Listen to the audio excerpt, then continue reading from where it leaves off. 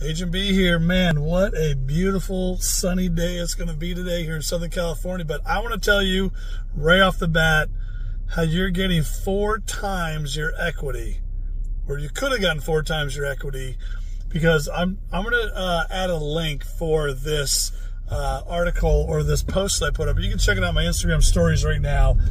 But they talk about people in 1971 if they were to wait at that time, rates were in the mid sevens or low to mid sevens, and they decided they want to wait for rates to come down. Well, rates went up and up and up and up and up, and 22 years later, they came back to the sevens in 1993. And in that time that they waited for those rates to come down to buy again, the property values went up by four times in that 20 years. Flash forward a little bit here to 2020 when rates were starting to drop into the fours, and then 2021 they were getting into the threes. And all those people that wanted to compete or didn't want to compete, they said, I don't want to compete. I don't want to be part of multiple offers. I'm going to wait for the market to crash or whatever it is. And they came up with every excuse not to buy. Even the ones that were putting offers in, like, well, I'm not going up to that level. That's ridiculous.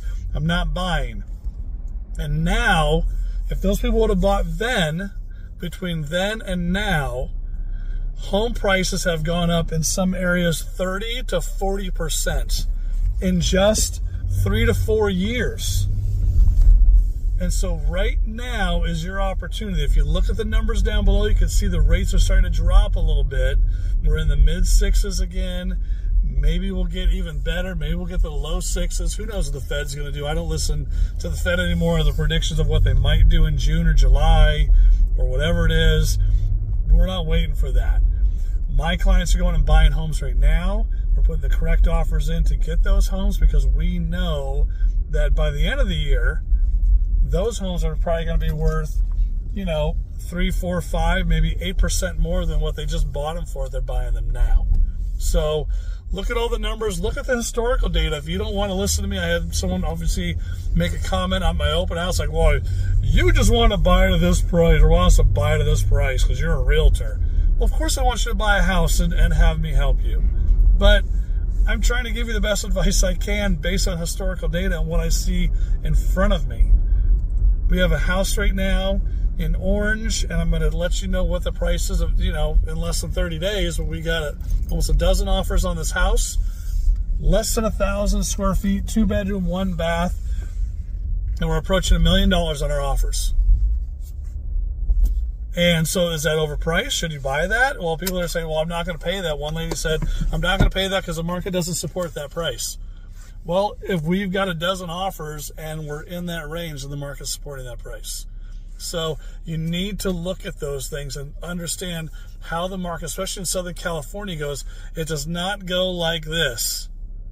The Southern California goes like this, like that.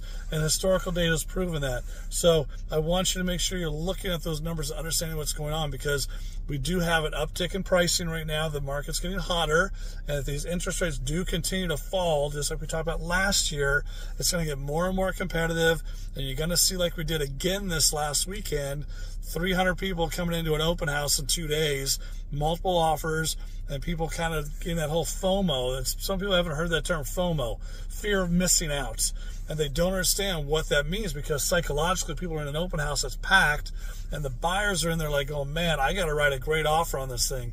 And that's what's driving the market right now is kind of that fomo. But it's real because as they're buying we're setting a new comp we're setting a new price and then the next one sets a new price and that's going to keep moving so of course, don't buy if it's not affordable for you. But if there is a price range affordable for you and you can get into something now, even if it's your a condo, it's it's a starter home of some kind, and it's not going to be. I told somebody the other day, it's this isn't going to be your forever home.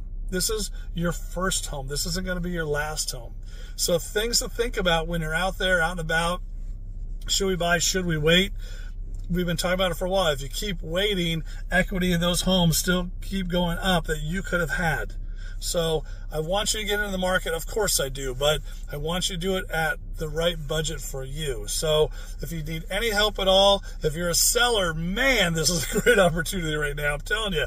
My client, I'm talking to him last night on the phone about these offers. He goes, I've never been in a situation like this, like such a frenzy on the seller side where the buyer's just trying to get these houses. I said, this is where we're at. So I know this went a little bit long, but I'm kind of preaching today and I kind of threw some facts at you and you can check me, fact check me if you want. But housing prices are on the rise right now. Interest rates have taken a little tick down. That means they're going to continue to go that way. We just don't have the inventory still. So if you're a seller, get your house on the market because we need them. We're going to start door knocking again, dropping flyers everywhere again. We're going to aggressively hit these neighborhoods, see if anyone we can shake anybody loose because we got so many buyers out there right now. Okay, I've got to go. I'm in the car. I just pulled up. Got to hit the uh, button to open my garage. There it goes. It's opening up.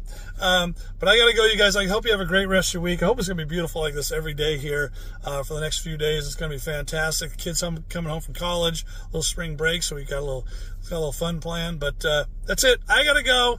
Agent B here to help when you're ready.